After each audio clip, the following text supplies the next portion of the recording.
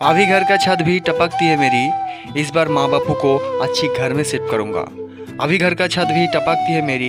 इस बार माँ बापू को अच्छी घर में शिफ्ट करूँगा और 2021 हालात ठीक नहीं थे मेरे। 2022 में आर्मी की नौकरी की करूँगा। जय हिंद, जय भारत।